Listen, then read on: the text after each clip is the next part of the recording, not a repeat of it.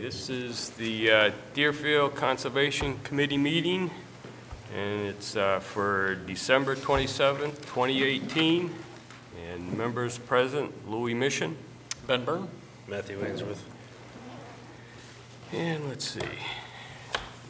We've got some maybe old business here. Is anybody from Cumberland Farms for an update? Or There shouldn't be anything, but nobody there. Okay. uh, Let's see, we have a request for determination on 141 Greenfield Road in addition to the animal hospital. Is anybody here? Hello, Hi. Uh, Would you like me to sit here? Yep. Okay, Yep, excellent. just in- introduce yourself, Okay. that's all. Hi, my name is Joshua Surratt, and I am a wetland biologist working with SWCA Environmental Consultants out of Amherst, uh, formerly known as New England Environmental Consultants.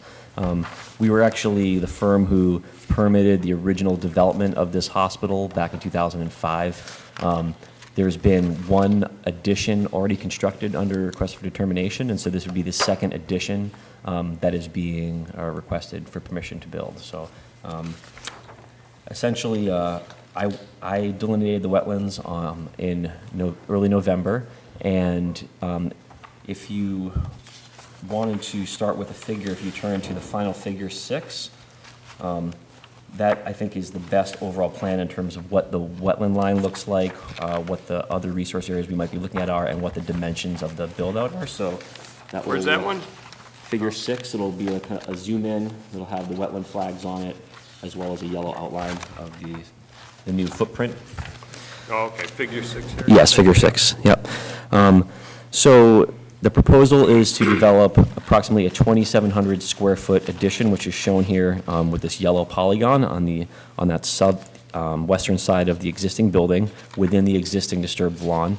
Um, The wetland line is demarcated um, as, with the A series numbers, so A1 all the way to A7.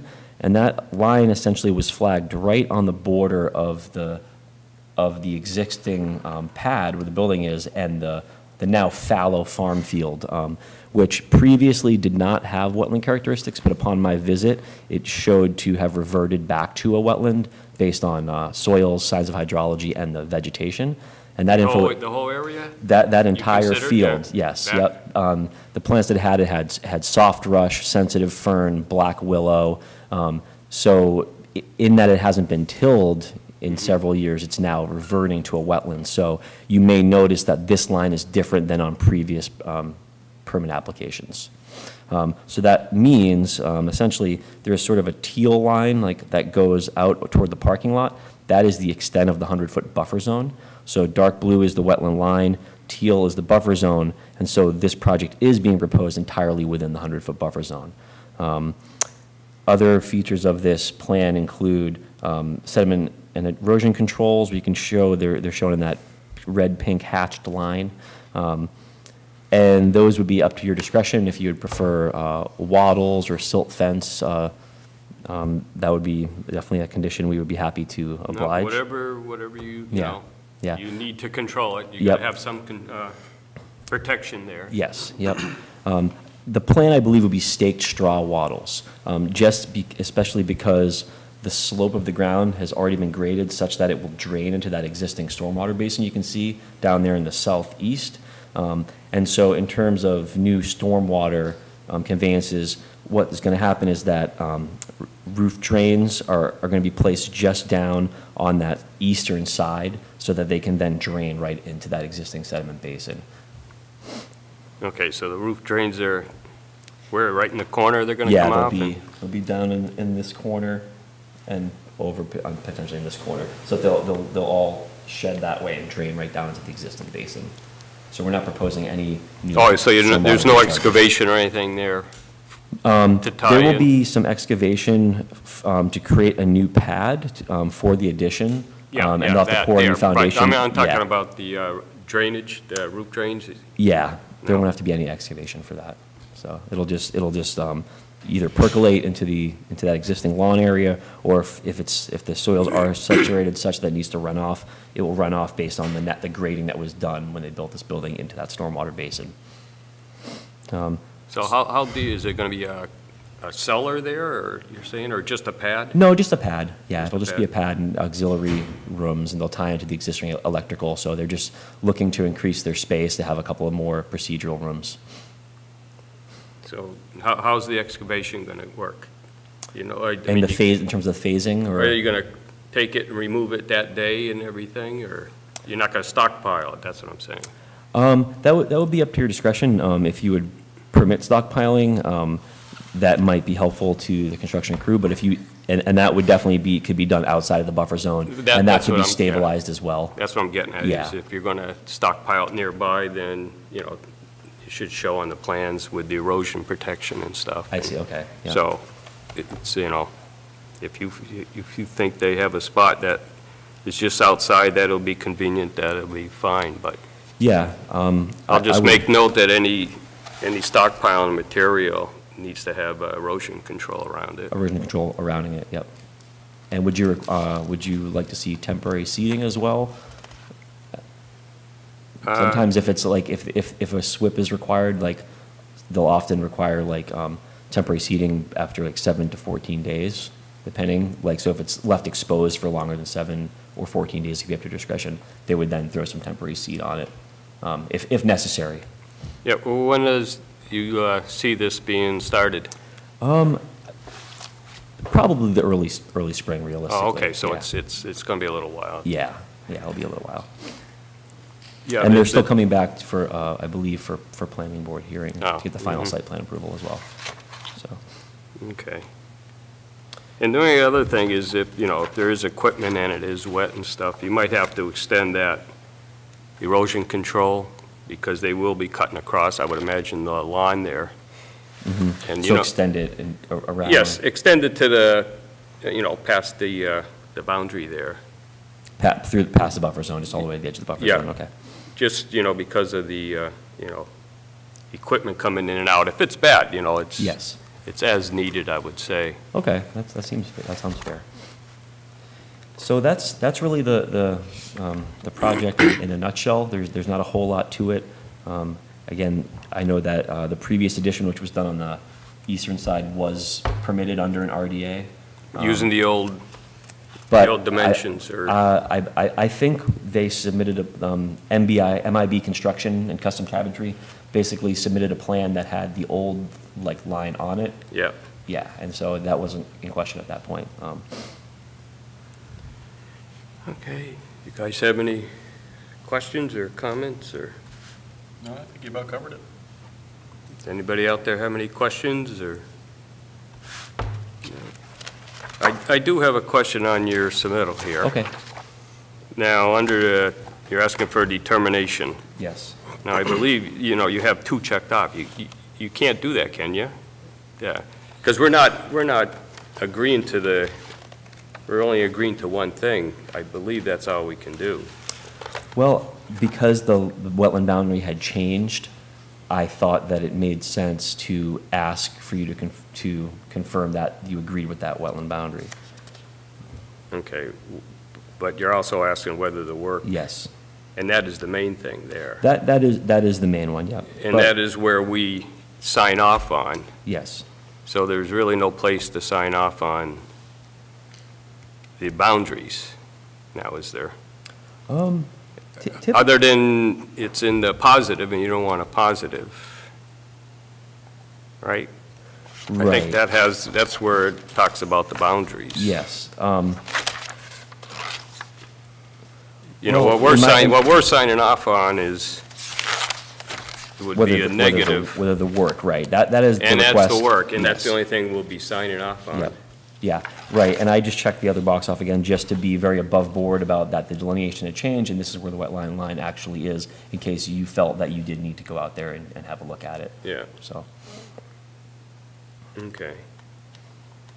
Because there's nowhere, I'm just saying, there's nowhere that's going to state that we agree with the boundaries. That, that's okay, if you. Yeah, no, I if- just yeah, wanted- That's okay, yeah. If you were looking for something else, No, too. no, that's fine, that's fine. If, if you're comfortable with that and you say that the work depicted is, is, um, whether it's subject to the act, based upon your feeling of it's, if it's going to impact a resource area. That's the- definitely the paramount. That check mark? Yeah, I think, uh, if you wanted, you know, just state that you'll withdraw that check mark, that'd probably make it easier. Okay, yeah, yeah, we will withdraw uh, that um, section B, 1B determination um, requesting whether the boundaries of the resource areas depicted on the planner map are um, accurately delineated. Okay, If you want to just make note of that. And that- Other than that, that was the only, you know, question I had on that, and, Okay. and let's see. And I did provide an additional supplemental information that typically doesn't come with an RDA, like the floodplain information. Yeah. And a lot of No, that no, stuff, just so you uh, had the background there. I saw that, and I said, whoa, what am I looking at here? Could, could have been an NOI, but with no impact, so.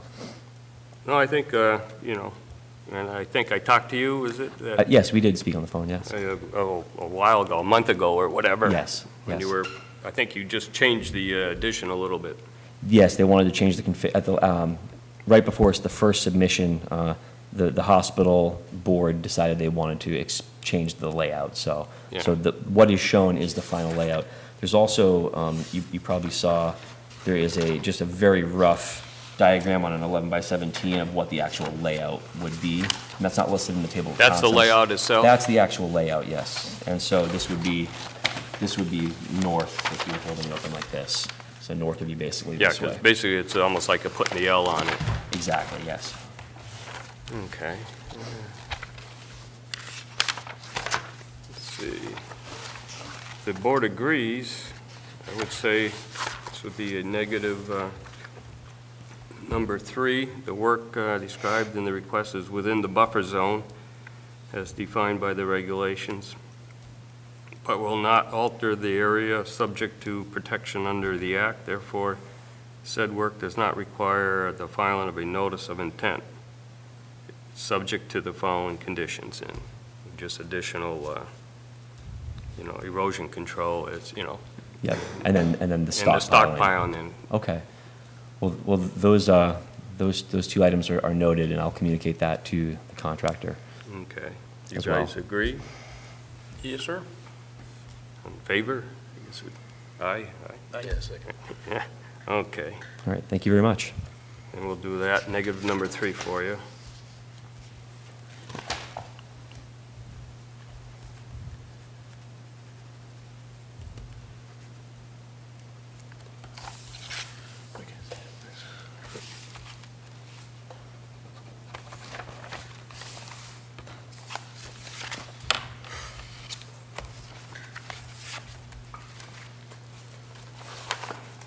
Okay, let's see.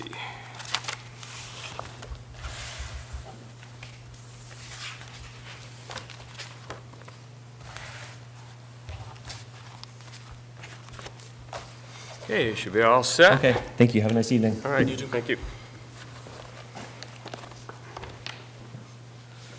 And see, we have 198 Mill Village Road. That's me. I have That's some you. half-size plans in case that's more convenient. It's Okay. the Same as the full size that you've got already. We like pictures. Um, I also have some boards over there, but if I hold this one up, it may be just as readable. We will see. Okay, and if you could state your name and who you're with, Uh, or? I am Chris Chamberlain. I'm a civil engineer with Berkshire Design Group in Northampton and uh, representing Suns Mass Inc., which is the applicant, uh, which is proposing to convert existing greenhouses at 198 Mill Village Road um, into cannabis cultivation. Um, And uh, the current uh, property is owned by Pioneer Gardens, and Ariane uh, from Pioneer is here, um, as well as um, Blake uh, Gilmore, who's the Director of Security, uh, or the the future Director of Security for for the Suns Mass um, project. Um, And so briefly, uh, the project is taking an existing two-and-a-half acre greenhouse, which currently grows perennials, renovating the interior of that greenhouse for cultivation of both medical and non-medical marijuana. And in addition, within the site, uh, we are proposing to construct a new building for harvesting, drying, and uh, shipping of the product. Um, And from a site perspective, what we're doing is, is relatively simple. Um, We have a new 35, uh, 33,000 square foot building here nestled within the existing greenhouse. We will be reconstructing the parking area. We're going to put a fence around the whole property, and we're going to continue growing plants. Uh, There are two jurisdictional areas that triggered this NOI. Um, The first one is fairly straightforward. The very um, end of the driveway at Mill Village Road is within the 200-foot riverfront area of a perennial stream. All of the work proposed there is within existing paved area. We're simply going to reconstruct the pavement and then build utility lines. So our interpretation is that that work would be exempt from the Wetland Protection Act. Um, And part of what we're looking for is confirmation that, that our interpretation is correct. And then there is some work in the 100-foot buffer of an existing bordering vegetated wetland in the rear of the site, which includes some regrading, uh, new fencing, erosion controls for the whole project, of course, um, and uh, some regrading related to uh, drainage of the site. After we submitted the NOI, uh, we got contacted by Mark Stinson, and I'm sure you have some of that communication Yeah. with you, um, that identified areas where it is possible that the existing greenhouse was constructed uh, such that uh, wetlands were filled in that process uh, somewhere between 10 and 15 years ago. Um, Since that time, we've asked the wetland scientist to do a, essentially a forensic delineation, to go through aerial photos, um, uh, soil records, and those sorts of things, uh, to try to give us their interpretation of where that wetland line may have been at the time that construction was done. That work is incomplete tonight, um, so ultimately, we'll be asking for a continuation to a future meeting so that we can um, deal with that issue. Uh, In the meantime, I am happy to go through some of the details of the project and answer questions, or we can save that for the next meeting, uh, sort of at your discretion. Um, We do anticipate, you know, the, the legal process by which we deal with any possible wetland alteration um, uh, is, is still open. We do anticipate that there may be some wetland replication or restoration, and the client's fully prepared to, to do that um, to whatever extent's necessary to make up for uh, what was done in the past. Uh, This was all agricultural farm fields, and the, the greenhouses got put up uh, with the thinking that those were not wetland areas, uh, but it turns out that, that it may Yeah. have been. Um, And so, uh, with that, I guess the, the question is, uh, I can give a little bit more detail about our plans or answer questions, um, or, or we can push that off to the next meeting. Or Do you, do you want to wait till, uh, Eh, Probably wouldn't hurt, get it all done in one shot.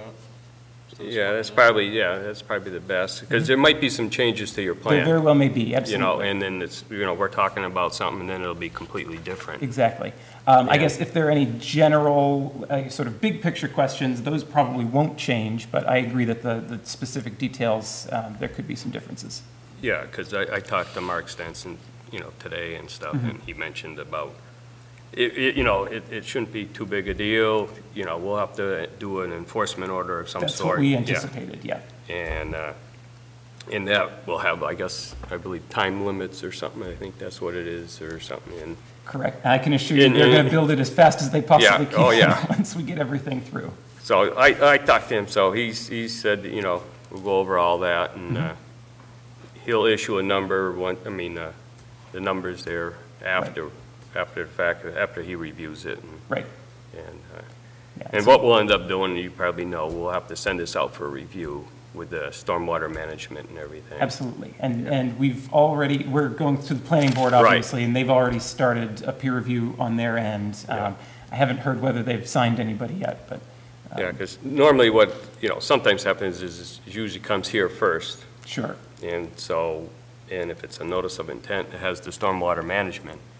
So we usually try to get it going, and they use that info, and unless they got it started, I'll have to talk Right. with them. But, but yeah, we, I, I see no problem continuing it to the next meeting, which, uh, you know, we'll see where we stand then, Right. and, uh. if Yeah, I anticipate that, that redelineation is supposed to be finished next week, um, and from there, hopefully, we can move pretty quickly to, to Yeah. come up with a, a plan that we propose, and then we'll see what Mark Stinson And thinks see, it. yeah, and then see if we can have it by, our meeting is usually the fourth, uh, And January 24th will be the next. Yeah, Right. fourth Thursday, so the That 20. January 24th. And we'll have at least one more planning board hearing, perhaps two more by then. so. Yeah. So, okay, we'll vote to uh, continue till January 24th. Yep, I'll second. Okay, all right, Okay, Thank you, we'll Okay. see you then. all right.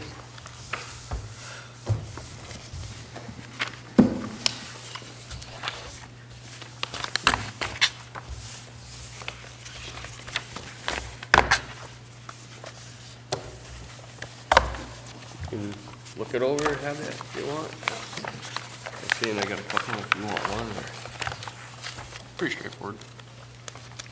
I got the big ones, and the big one, there's a big one up there, so. Okay. Uh, Let's see. I think that's about, about it here. Let's, we gotta review the minutes. See, there's uh, nothing on Cumberland Farms? Nope. No, that'll, that's, you know, wait till the weather gets better. See how things start growing. Okay, we're the minutes? Mail. No mail. No mail to review. No news is good news? I guess that's how it works, right? Uh, let's see. That's.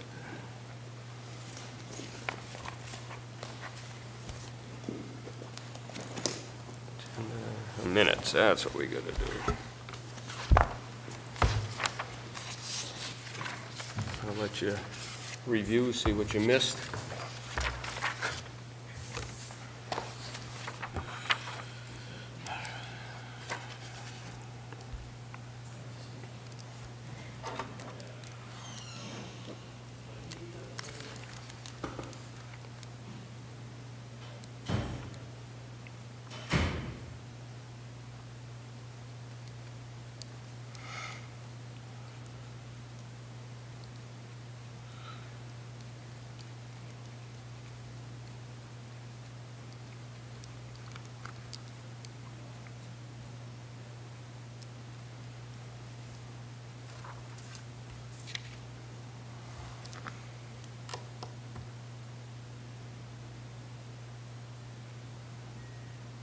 Believe you're correct. Yeah, they look, look good to me, eh? Move to accept. I'll second. Aye. Aye. Okay, let's see. So no mail, No minutes, mail, old we- business, new business, any other business? Any other business out there? No, no questions? Well, I guess, uh, Next meeting's January 24th, and uh, I guess we'll move to adjourn. I'll second that. Aye. Seven twenty-five.